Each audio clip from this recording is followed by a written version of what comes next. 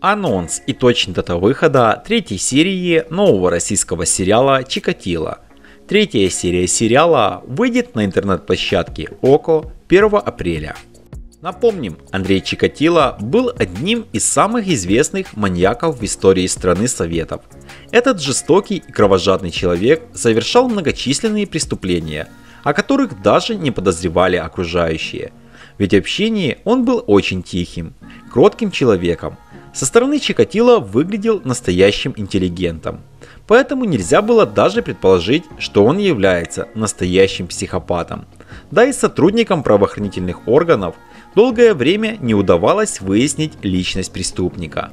Ведь он умело заметал следы и скрывался. Этот хитрый психопат погубил немало человеческих жизней.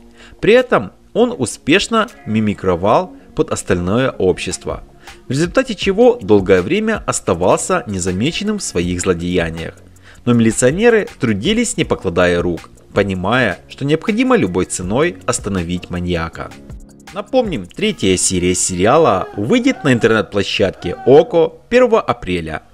Если вам нравится сериал, ищите выхода новых серий, тогда ставим лайки, подписываемся на канал, жмем на колокольчик, чтобы быть в курсе последних новостей о новых российских сериалах. Спасибо за подписку и лайки.